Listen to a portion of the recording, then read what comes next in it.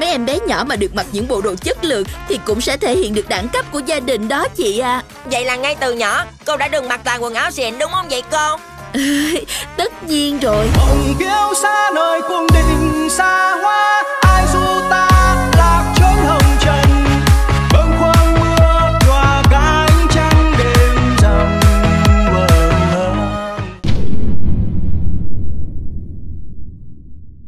Chào mừng các bạn đến với lớp học truyện tranh. Mọi người đã bao giờ tưởng tượng đến một vũ trụ mà Shin và gia đình là quỷ chưa? Nghe thú vị đúng không nào? Video này chính là dành cho các bạn đấy. Hôm nay, chúng ta sẽ cùng đồng hành với bố con quỷ Shin và Hiroshi trong hành trình đi tìm mẹ Mise và Hima, đồng thời giải cứu thế giới khỏi sự xấu xa của chúa quỷ lợn. Sẵn sàng chưa? Chúng mình cùng vào lớp thôi. Tại một thị trấn rất chi là bình thường, chả có chuyện tốt xấu gì xảy ra cả, ngày nào cũng như ngày nào. À, đó là nhận xét cá nhân của cô nữ sinh Sakura Fumie thôi, chứ phim không có chuyện gì bất ổn thì xem làm gì.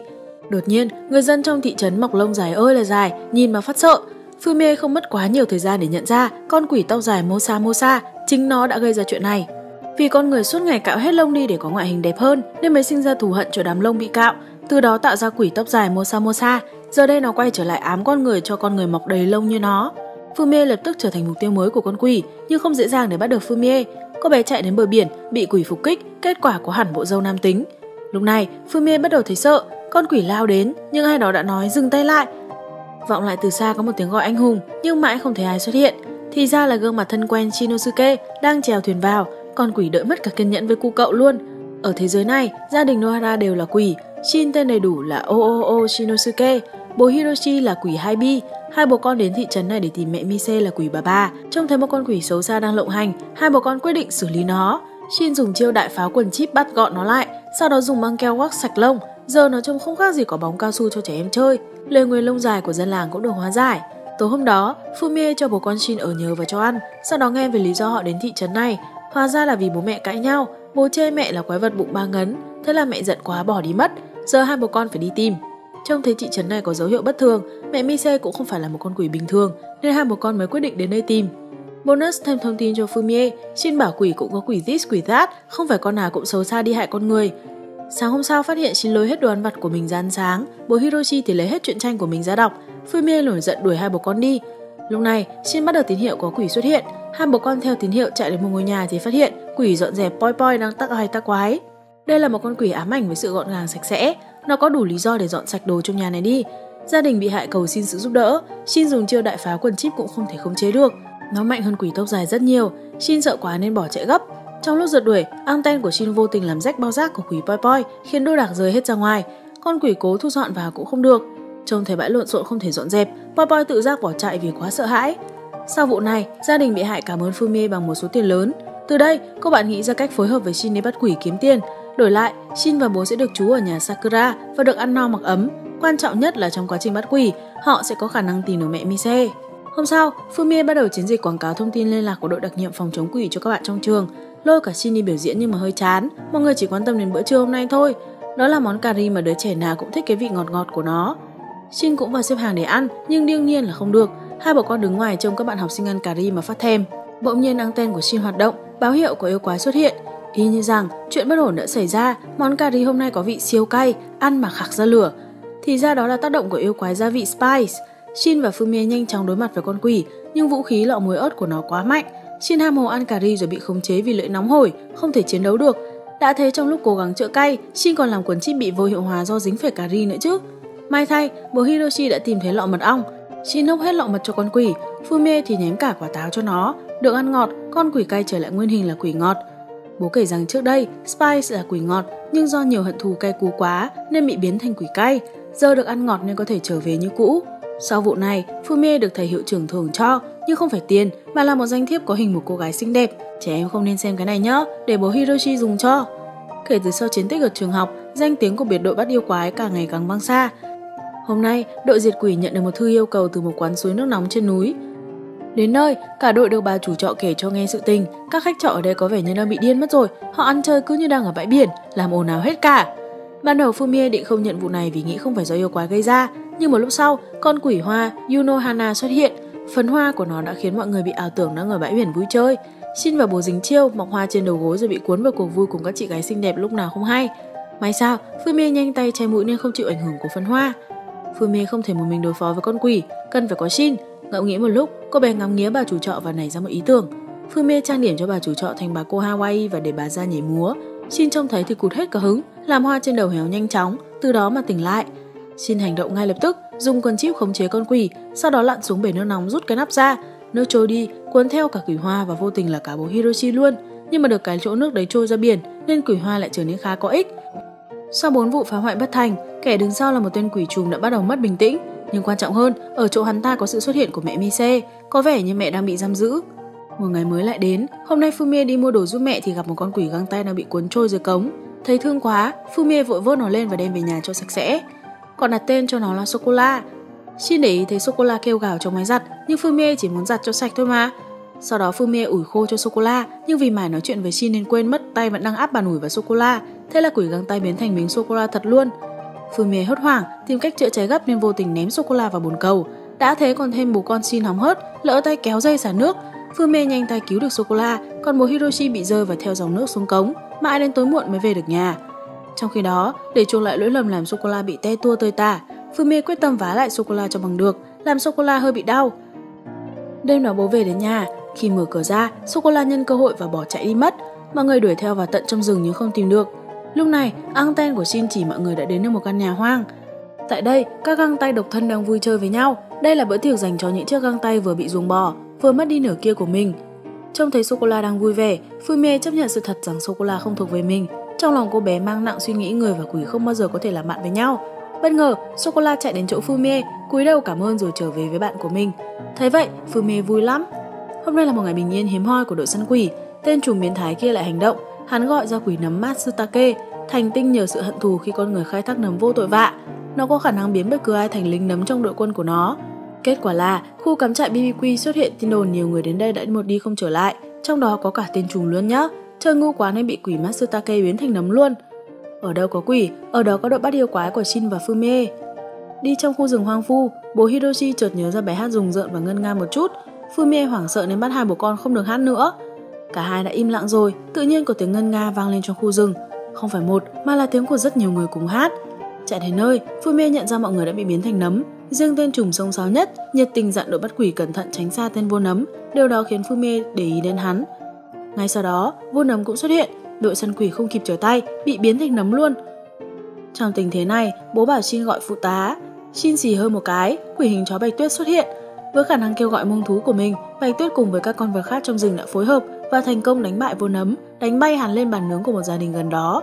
Những nạn nhân của vô nấm đều được trở lại hình dáng cũ và mọi người có hẳn bữa nấm khổng lồ nướng thơm ngon. Sau vụ này, Fumie đã nghi ngờ người đàn ông có vẻ mặt biến thái kia. Sau nhiều buổi đam mê săn quỷ, hôm nay Fumie phải làm bài tập về nhà. Bố Hiroshi thì đã bận ngâm mình trong bát nước ấm, nên khi xin nhận được tín hiệu từ anten phải đi một mình. Cậu định vòng về, nhưng nghe được tiếng kêu cứu của mẹ, cậu đi thẳng một mạch theo chỉ dẫn của hằng anten đến một bệnh viện bỏ hoang. Không khí u ám đến đáng sợ, nhưng Shin vẫn dũng cảm đi vào trong.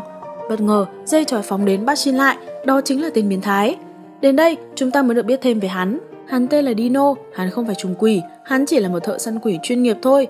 Thiết bị của hắn là một chiếc máy hút ma, có thể hút và triệu hồi quỷ trở lại tùy thích. Từ bé, gia đình hắn phải sống ở khu toàn quỷ nên bị mọi người xa lánh. Giờ hắn muốn trở thành vô quỷ để trả thù con người. Sau khi thu phục kha khá quỷ, hắn chọn thị trấn này làm nơi thị uy nhưng lại bị đội săn quỷ Shin và Fume phá đám. Nói xong, Dino hút Shin vào máy nhưng Fume và bố Hiroshi đã đến kịp và giải cứu cho Shin. Dino triệu hồi quỷ u ám Oni để bắt đội săn quỷ. Chúng là những con quỷ chứa năng lượng tiêu cực, làm ảnh hưởng đến kinh tế và tâm trí con người. Đội săn quỷ đã rơi vào tình huống nguy hiểm. Shin và Fume nhanh chóng bị lũ quỷ u ám bám vào, làm mất hết tinh thần, suy sụp hoàn toàn, chả muốn chiến đấu gì nữa. Bố Hiroshi trốn trong quần Shin, liên tục nghịch voi của cậu, làm cậu lắc lắc đẩy bọn quỷ u ám bay đi. Shin sau đó lôi Fumie bỏ chạy và giúp cô bạn thoát khỏi bọn quỷ. Cả đội trốn vào một căn phòng, tại đây Shin dùng chiêu xì hơi gọi ra phụ tá là quỷ ăn chơi Umineko. Ngoài khả năng ế toàn tập ra thì Umineko còn có khả năng khuấy động không khí. Live show âm nhạc của cô đã đánh bay bọn quỷ u ám. Dino tức lắm, đành gọi quỷ khác ra chiến đấu, thế nào lại gọi nhầm quỷ khóc Hima. Shin và bố thấy bé Hima liền chạy đến ôm rồi nựng làm bé khóc hòa lên. Khả năng của quỷ Hima là khóc siêu thanh, tiếng khóc uy lực khổng lồ, tí thì đánh sập cả bệnh viện. Nhờ đó Jin và mọi người mới đến được chỗ của mẹ Mise ở tầng hầm của bệnh viện bỏ hoang này. Cả nhà gặp lại nhau, hạnh phúc thật khó tả. Sau khi trở về, mẹ kể lại mọi chuyện cho hai bố con nghe. Hóa ra không phải mẹ bỏ nhà ra đi, mà chỉ đơn giản là muốn đi du lịch thôi. Giữa đường hết tiền, mẹ được một người đàn ông giới thiệu công việc, thế là mẹ làm ngay. Người đó chính là Dino, dựa trên sách ghi chú về loài quỷ, hắn biết được quỷ bà bà Mise có bộ mông to, đủ sức chấn yểm trước bình chứa quỷ, nên đã thuê mẹ Mise về chỉ để ngồi lên chiếc bình đó 3 ngày 3 đêm. Đúng là việc nhẹ lương cao. Ngay đến đây, Fumie rất muốn đến giải cứu những con quỷ bị nhốt, nhưng Shin chỉ muốn cùng gia đình mình trở về mà thôi. Cả hai sau đó cãi nhau một trận to và rồi nghỉ chơi luôn. Trên đường về, gia đình Shin bất ngờ trông thấy nhiều quỷ đang tung hoành khắp thị trấn. Dino đã bị bắt, chiếc bình không còn ai chấn điểm, quỷ bên trong liên tục thoát ra ngoài. Trong tình huống này, mọi người tìm đến Fumie nhờ đội bắt quỷ hành động. Nhưng Fumie bất lực thông báo đội bắt quỷ đã giải tán. Trong khi đó, thị trưởng tập hợp cư dân của thị trấn lại, ban bố cảnh báo cấp cao, yêu cầu mọi người di tản ngay khỏi thị trấn. Lũ quỷ tấn công được vào bên trong hội trường, mọi người chạy tán loạn. Tuy nhiên có một chi tiết lạ, lũ quỷ không tấn công thị trưởng khi mặt dây chuyền của ông ấy phát sáng. Fumie đã để ý thấy điều này. Cô bé ngay sau đó bám theo đến tòa thị trưởng và nghe lén được mọi chuyện. Dòng họ Dino là dòng họ phong ấn quỷ, bên trong chiếc bình đó có một con quỷ mạnh nhất, tuyệt đối không được để nó sống ra. Tuy nhiên, thị trưởng lại muốn dùng sức mạnh của nó để trở nên quyền lực hơn, nắm trùm thế giới.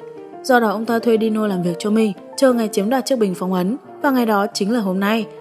Fume nhanh chóng bị phát hiện, sau đó bị bắt giam cùng với Dino. Trong nhà giam, Dino kể về con quỷ nguy hiểm bị nhốt ở đáy bình. Dòng họ anh ta đã cố gắng phong ấn nó suốt 8 đời, bây giờ nó thậm chí còn mạnh hơn trước rất nhiều. Nếu để nó thoát ra ngoài, nhân loại sẽ diệt vong.